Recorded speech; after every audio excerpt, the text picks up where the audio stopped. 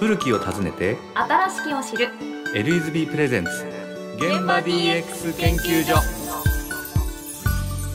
こんばんは。番組パーソナリティ LSB 代表の横井大輔です。番組アシスタントフリーアナウンサーの松井さゆりです。LSB プレゼンツ現場 DX 研究所。この番組は温故知新をコンセプトに今と昔ながらの知恵を紐解きビジネスとしての学びや気づきを DX という視点から探索する対談番組です。はい。スポーツの秋っていうね、言葉も聞きますけれど、はい。横井さんがご覧になって感動したスポーツとかやって楽しかったスポーツってありますか？はいあの僕はあのまあ、今も泳いだりとか、はい。走ったりとかうん。体を動かすのが好きで、まあ、スポーツは見るのもするのも大好きなんですけども、はい特にですね球技が好きなんですね。野球をずっとやってましたしはい、あとまあサッカーも見るのも好きですしバスケットも今よく見ます。うん、で学生の頃にちょうど J リーグが始まったんですよ。はい。あのね僕と同世代の皆さん思い出していただきたいんですけども ちょうどね93年ですかね始まって、えー第2節見に行きました。ベルディ対ジェフをね見に当時ジェフ市原だったんですけども、は国立競技場に見に行って生でね J リーグを初めて見たりわあ。とね東京で世界陸上があったんですよねその頃、でブブカっていう選手ご存知ですか？はいあのえ？僕は有名な。本当ですか？世代的にでしょ ちょっとあの棒高跳びとかねあとね、カール・ルイス選手の走り幅跳び生で見たりとか、えー、すごいですね。もうねその瞬間そのスタジアムがねフラッシュがバーってこう焚かれてそのシーン30年ぐらい前ですけど未だに覚えてますね。あとね日韓ワールドカップも見に行きました。結構行かれてますね。あの友達がチケット取ってくれて行ったりとかあと海外出張よくしてたんですけども、はい。ドイツでうん稲本選手と小野選手のマッチをねはい。見たりとかもしましたへしー。あと去年は千葉ロッテさんの球場広告もやらせていただいて、はい。野球を見たりとかですね。本当にこう、まあ、スポーツは全般的に何でもよく見たりしてます。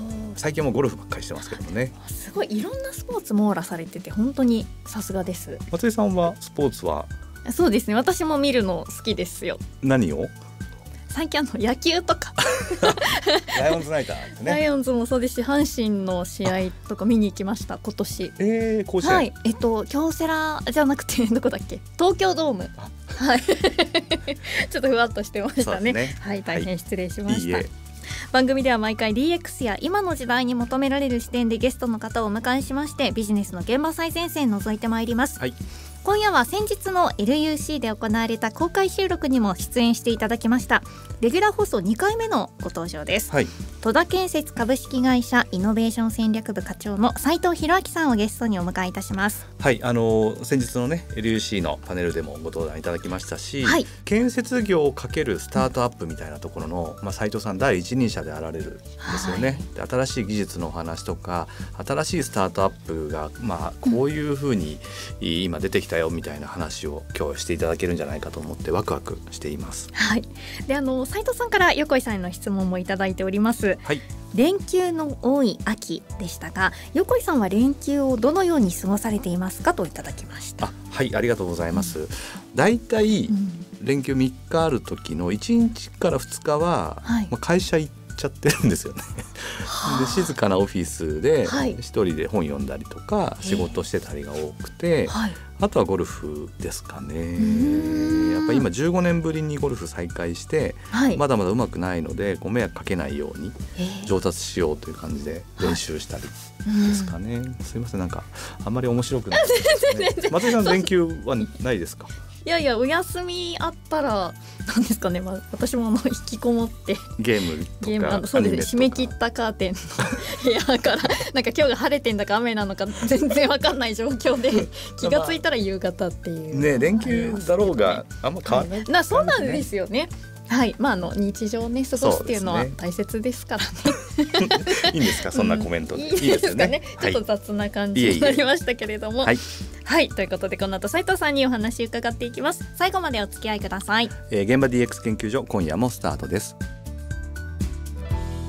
LESB プレゼンツ現場 DX 研究所。この番組は IT で人生を演出する LESB の提供でお送りします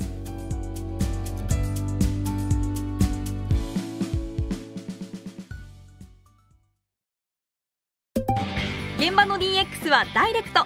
DX の基本は使う人に寄り添うこと。現場の全員がきちんと使いこなせることが大事です。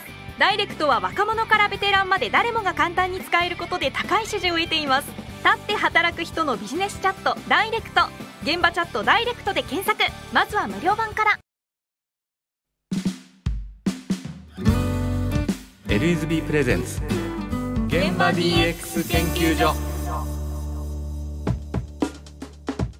早速今夜のゲストをご紹介しましょう戸田建設株式会社イノベーション戦略部課長斉藤博明さんですよろしくお願いしますお願いいたしますよろしくお願いいたします。先日の LEC で、えーパネルディスカッションご出演いただきましてありがとうございましたありがとうございました。一年ぶりぐらいですよね。この番そうです。えっ、二回目と昨年の7月6月ですかね。そうですねご登場いただきまして今回そうですね1年4ヶ月ぶり。うん、なんかもう安心感あります。あ、ありがとうございます。で私もちょっと今日は緊張せずに臨めてますのでありがとうございます。よろしくお願い改めておいたします願いします。まずあの企業プロフィール紹介いたします。はい戸田建設株式会社は1881年に創業、140年を超える歴史と伝統を持つ建築の名門として歴史的建造物から近代建築物まで数多くの名建築を手掛けてきました。土木事業については山岳トンネルなどの社会インフラを整備しています。また医療と福祉分野では病院の戸田学校の戸田と言われ一目置かれている存在です。近年は浮体式洋上風力発電事業の先駆者として脱炭素社会の実現に向けた取り組みにも力を入れていらっしゃいます。はい。ということですが、現在の戸田建設さんが携わっている現場ってどういったものになりますか？えっとですね、もういろいろあります。あの、ん例えば土木構造物もありますし、建物もあるんですけど、はいあの当社ではですね、大体今250ぐらいの建設現場が全国ではい。動いているっていう状況ですね。へーで、まあいろんなものを作ってるんですけど、はい例えば工場だとか、はいえー医療施設だとか、オフィスだとか、はい。あと物流倉庫とか、はいそんなものが多いですね。幅広い結構大型の建築物のイメージですけども。そうですね。物流倉庫なんてすごく大きいですよね。皆さんね、アマゾンとかで、はいはい。アマゾンとかあの EC サイトではい買ったらですね、すぐこう届きますよね。はい物流倉庫から届いてるんですよね。今あの高速のインターチェンジのところにバカでかいありますよね建物そうです。ね。ああんなものも作ってます。へーえすごいちなみにあの前回出演いただいた時にスタートアップへの投資のいう話をお伺いしたりあと斉藤さんが小学校の時にこう東京にいらした時に、はい。超高層ビル見てこう建設業界を志したお話とか、あと都知事杯のオープンデータハッカソンで最優秀作品賞を獲得したお話とかいただきましたけれども、いかがでしたか？あのですね、私あの中学生の頃にですね、はい。あのラジオパーソナリティにちょっと憧れてたことがあったので、初めてこうラジオに出演させていただいて、はい。あのすごく感激でしたっていうのがまず一つの感想なんですけど。なんかあのどういうパーソナリティになりたかったとかあったんですか？あのですね、こうはい。リスナーの方から音楽のオーダーをしてこう音楽流しますよね。あはいはい。あれすごくいいなと思って。へええー。ももしよかったらねやりませんか？やってみますか？今。あできるんですか？いやいやいやいやいや無茶ぶりですけど。ね。そうなんですね。はい。へー。あすごい。とあの建設業界を志した時のお話もさせていただいたと思うんですけど、こうあまりこれまであのしてこなかった話なので、うん。自分のこう初心も思い出してすごく新鮮でした。へーありがとうございます。あの改めてにはなりますが斉藤さんの現在のお仕事内容を伺ってもいいですか？はい、えー、とスタートアップ企業とのまあ連携だとか投資なんかを担当しています。なるほどえっとですね、建設業界ってですね60兆円を超える巨大な産業なんですが、はい。まあ、他の産業やスタートアップが得意な革新的なビジネスモデルとかサービスとかがなかなか入ってきづらいという環境がありまして、はい。まあ、そのためにあの私の方であの投資や連携をさせていただきながら、こう外のイノベーションをどんどん建設業界にももたらしていきたいなという、そういった思いで取り組んでおります。あのスタートアップ企業の新しいアイデアは建設業向けに作られたものとそうでないものがあると思うんですけども、そうでないものも割と常にウォッチされてるんですか？そうですねあります。例えばあの当社のお客様が、まあ、困っていることがあってそこに対してフィットするようなサービスなんかも当然ウォッチしてますね。い。ろんなサービス皆さん本当にアイデア一つでね、そうですね、まあ、もしかしたらものすごい伸びるかもしれないってマーケットに対してやってらっしゃいますもんね。はい、すごいですね。で戸田建設さんは来年9月に新しく本社ビルが建つんですか？あそうですね、えーと、東京駅の八重洲口からすぐ近くの京橋エリアっていうところがありますね、あの日本橋と銀座に挟まれた、はい。ところなんですがそこで今あの工事中です。へどんな建物になるんですか？とですね。27階建ての結構大きなビルなんですけど、はい、えっと、仮想にはですねギャラリーだとかミュージアムだとかを中心とした芸術文化の施設も入ったようなオフィスになります。ギャラリー。ギャラリー？え何を？何を？ギャラリー。ギャラリー。何を？ど。んな、はい、一般のいわゆる美術品だとかもそうですね。はい。アートのもがそこで触れられるような場所になっていますではですねこの後仕事の現場についてそして斉藤さんが目指す今とこれからお話を伺っていきます。エリーズビープレゼンツ現場 DX 研究所。戸田建設株式会社イノベーション戦略部課長の斉藤博明さんに3つの質問いたします。まず一言でお願いいたします、はい、質問1つ目。スタートアップへの投資で重要視していることは？はい、えー、投資先の企業様にどれだけ貢献できるかという点です、はい、はい、では2つ目です。今後の建設テック系スタートアップ企業に期待していることは？建設現場の業務負荷の軽減です。では3つ目。今後のビジョン教えてください。はい、えー、私個人の立場で考えると、えー、建設産業にイノベーションをもたらしたいというふうに思ってます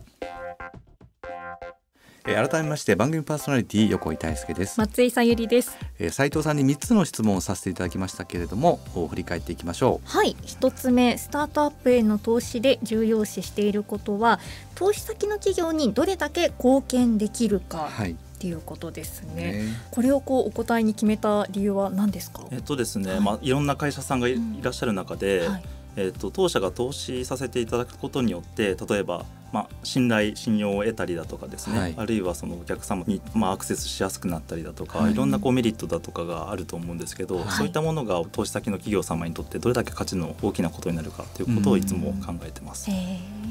あの割とこう CVC 企業のベンチャーキャピタル部門さん皆さんあるんですけども、本業と結構かけ離れてるイメージもあってですね、はい、戸田建設様からとか、まあ、大手の企業様から出資を受けてもその企業様とシナジーがあんまり出にくいみたいなことって昔よくあったんですよね。はいなので斉藤さんみたいなポジションで出資をしてさらにそのスタートアップのために貢献するっていうのは、うん、スタートアップ側としてもあこれ戸田建設さんのリソースいろいろ活用できるなっっていうのはすごいメリットなんですよ、ね、以前ご出演された空人さんにも投資をさせていただいてるんですけど、空人さんは研機レンタル会社さんの、あの経営管理だとか、はい、あの在庫管理だとかをするシステムを提供されているんですね。はい、でそれは巡り巡って建設現場にこう機材がこう送られてくる中で、はい、我々がまあ空人さんに期待することによって研機レンタルメーカーさんにもそういった期待が波及するんじゃないかなみたいな。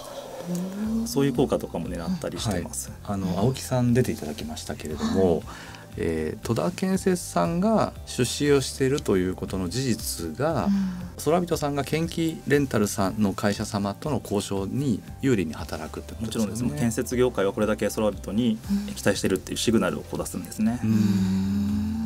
大事ですね。ね本当ですね。あのスタートアップへの投資はいつ頃から始められたんでしょうか？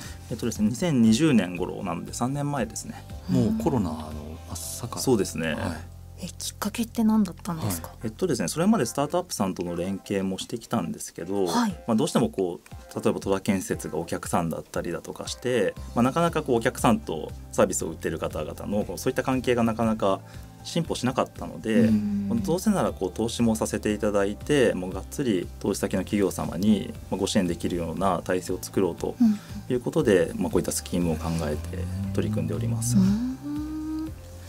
あの建設業のさまざまな課題解決をビジネスにしようっていうスタートアップ企業さんって増えてるんですか？はい、えーと、建設テックっていう呼ばれる領域の企業さんなんですが、はい、えーと、徐々に増加しているなと思います。で投資家からの資金調達額も2010年代後半から少しずつ増加していて、はい、まあ、期待の大きいスタートアップの種類だと思います。まあ、その建設業全体で60兆円のマーケットっていうのは日本の GDP の1割超えてるんですよね、はい、500兆とすると60兆ですから、一番大きな産業の一つと言っても過言ではないので、まあ、仮にこの60兆のうちの1%がこうなんか DX 投資に回っただけで6,000億円ですか？ものすごいマーケットです、ね、いや本当ですね、うんうん。もともと建設業に携わってた方が起業するパターンも増えてますか？えっと、増えてると思います。絶対数は多くないんですけど、はい、増えているなと感じてます。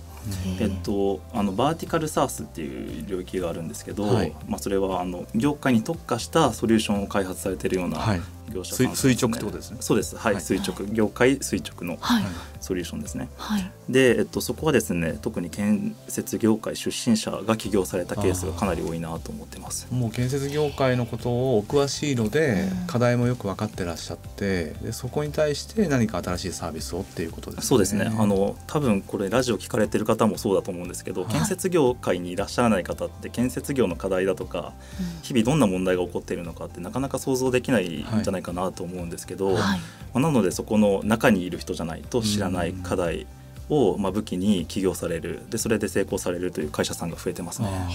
そういえば以前ご登場いただいたスパイダープラスさんもですね。もともと伊藤社長は設備をご自身で、うん、あの作業服着て工事されてた方ですからね。はい、はい、そうですね。なるほど建設テック系スタートアップってさっき言葉もありましたけれど、はい、どういう製品とかサービスがあるんですか？えっとですね大きく分けると2つあるんですけど、はい、1つは工事の管理をスマートにするサービスと、うんうんうん、もう1つは現場での実際の作業を効率化するようなサービス、まあ、若干違うんですけど、はい、その2種類があります。で、えっと、施工管理ですね、まあ、建設ゼネコンの社員さんがこう品質だとか工程だとか安全を管理するんですけど、まあ、例えばあのチャットアプリのダイレクトもそうですよね、はい、おそらく管理を効率化するようなソリューションですし、はい、まあ、あとあの先ほど申し上げられたのスパイダープラスさんだとかフォトアクションさんだとか、うん、アンドパッドさんだとか、まあ、そういった管理をスマートにするようなサービスを提供されている会社さんが、うんまあ、いくつかあるなと思います。でもう一個現場の実際の作業を効率化するプロダクトだと代表的なものはロボットじゃないかなというふうに思います。はいドローンとかロボットとかですか、ね、そうですね。斉藤さんがこう実際に触れてみてこういうところが素晴らしいっていうふうに感じたそういうサービスありますか、えーと、たくさんあるんで、まあ、一つだけっていうのがなかなか難しいんですけど、はい、まあ、例えば最近だとレーザー墨出しシステムっていうのがあるんですけど、はい。はいはい、メカシスさんっていうあのカナダのスタートアップさんの製品はすごいなって今思ってます。何ですか？レーザー。墨出しってあの昔は糸にですね黒く墨を塗ってパンって弾くとま、っすぐ線が引かれるじゃないですか。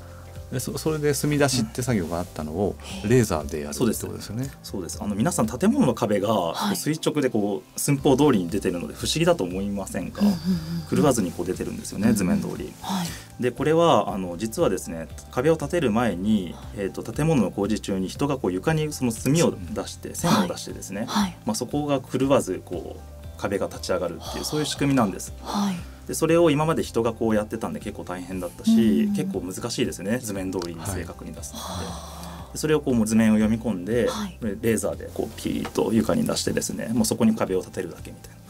そういうサービスがあってですね。これはすごいなと思って。床に壁を立てるのって近くで見たらちょっと歪んでることも何もしなかったら歪みますよね、はい、やっぱちゃんと測ってここはぴったりまっすぐこの同じ長さだっていうふうにやらないと、はい、なんかこうこうピサの斜塔みたいになっているんですよね。分かんない分かんないですけど、え。ー、まあ、そんな建物は皆さんあんま知らないと思いますけど、結構難しいことを建物を建てる時にやってるんですよね。そこにまあ新しいテクノロジーなんかが入ってきてどんどん効率化されていくんじゃないかなと思います。図面通りに立体に組み上げてるところが正確かどうかっていうのは実際わかんないです、ね、そうですね。えカナダの会社なんですカナダの会社です。えー、それはもう日本では結構浸透してるんですまだまだこれからですね。そういうスタートアップ企業さんってどういうふうに斉藤さん発掘されてるんですか？気になります。ねえっとですね、ピッチイベントと呼ばれる、まあ、複数のスタートアップの起業家が事業会社や投資家を相手にこう自社のサービスについて紹介するイベントがあるんですね。はい、プレゼンテーションするイベントですよね。そうです。はい、まあ5分だとかすごい短い時間でやるんですけど、はい、まあ、そういったところで有力なスタートアップさんの情報を収集したりしていますし、はい、あとそのベンチャーキャピタルと呼ばれるスタートアップ企業に投資をするあの会社があるんですけど、はい、まあそういった方々とのネットワークを使ってですね、うん、まあおすすめのスタートアップさんを紹介していただいたりしますね。実は戸田建設が投資させていただいてい。るあのファンドから、まあ、LSB さんにも投資をされているっていうのがありまして、はい、横井さんのことは結構前からあの存じ上げてた。えー、そうなんですか？はい。存じ上げてました。ちょっと恥ずかしい。僕はあのいやあの当社も2021年ですかね大型の資金調達を複数のベンチャーキャピタルさんからいただいたんですけど、そのベンチャーキャピタルさんのお金っていうのは皆さんのいろんな人たちが蘇生してって第何号ファンドみたいになってて、その中に戸田建設さんとかなんかいろんな企業さんが入ってて、で私たちはそのベンチャーキャピタルさんを通じてこうお金を出資していただいてる。はい、で業界全体においてこう新しいサービスのですねトライアルって結構利用はどうですか？厳しそうですか？えっとですねあの建築や土木のプロジェクトって品質や安全や工期の管理で失敗が許されないプロジェクトなんですね。お客さんの建物をちゃんと建てないといけないと。はいはいで、えっと、なのでですね実績が少ない、まあ、プロダクトだとかサービスなんかはなかなかこう参入するのが難しい領域ではあるなと思ってます。で私のいるチームではですね5年ほどスタートアップさんを発掘して新しいプロジェクトにこう使ってもらうということをずっとしてきたんですけど、はい最初は現場の方もですねあのなかなかこう新しいものに対してそれほど期待感もなかったんじゃないかなと思うんですけど最近はすごく期待感が高まってきてて、はい、まあ、我こそは一番最初に使いたいみたいな。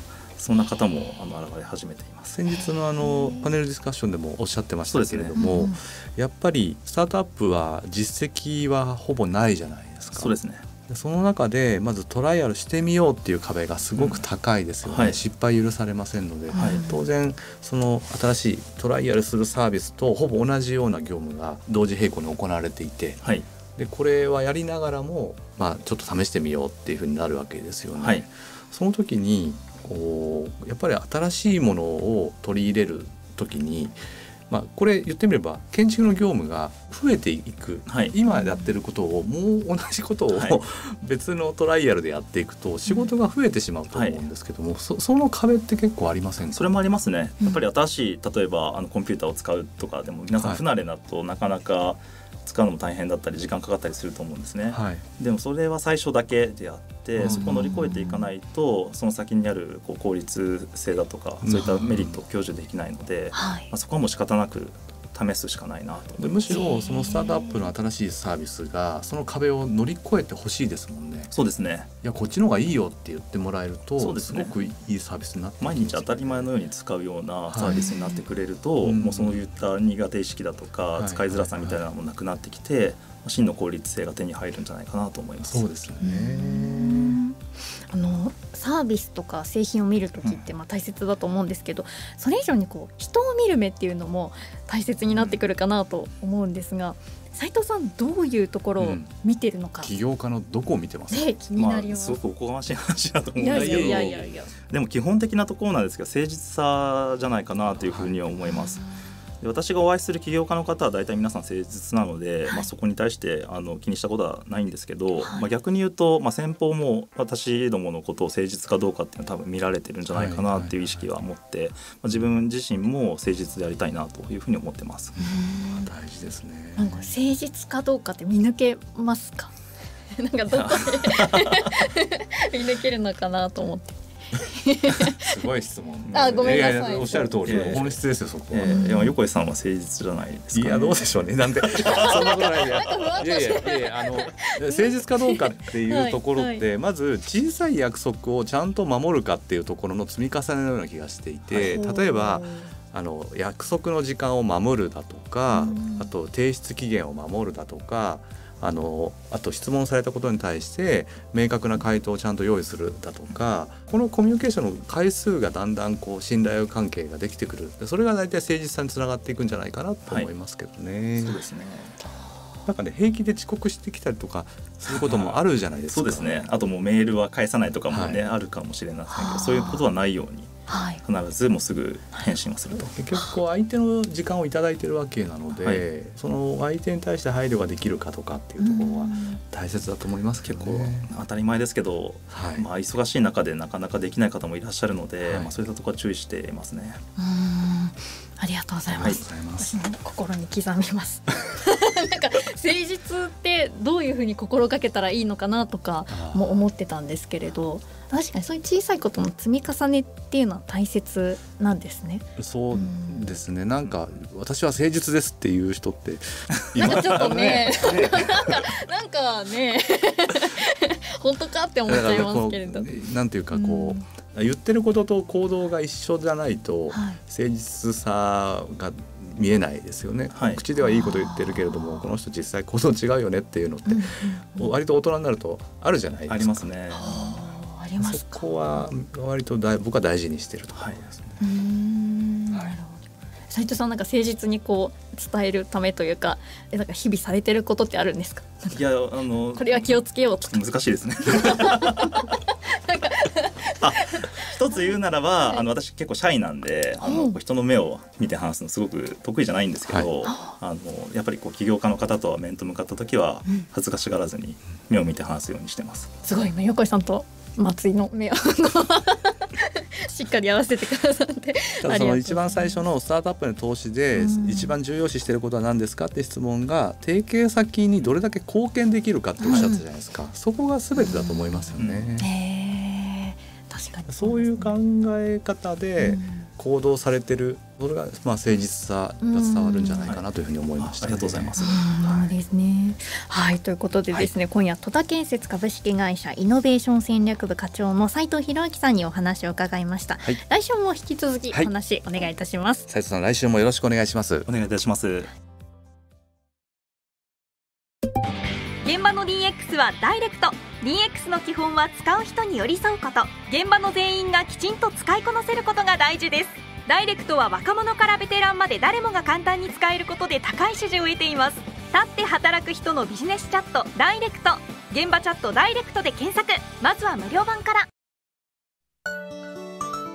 現場 DX 研究所エンディングです、はい横井さんいかがでしたか？あっという間でした。そう本当にあっという間に。なんか今日は本当にこう斉藤さん2回目のご登場とは思えないぐらいですね、はい、なんかもう毎週のレギュラーのようなそんな そんな気持ちで今日接することができて楽しかったなと思います、そうですね。なんかスタジオの中もリラックスしてる雰囲気がね、ありましたけれど来週もお話伺っていきましょうね。はい、はい、来週も戸田建設の斉藤博明さんにお話を伺います、はい、番組ではリスナーの皆さんからのメッセージお待ちしております。番組への感想ビジネスの質問横井さんと私松井へ聞きたいことお気軽にお寄せください、はい、メールアドレスは dx.joqr.net dx.joqr.net です。はい。ということで、えー、現場 DX 研究所ここまでのお相手は横井大輔とエリアナウンサーの松井さゆりでした。それでは皆さんまた来週お会いしましょう。LESB プレゼンツ現場 DX 研究所この番組は IT で人生を演出する LSB の提供でお送りしました。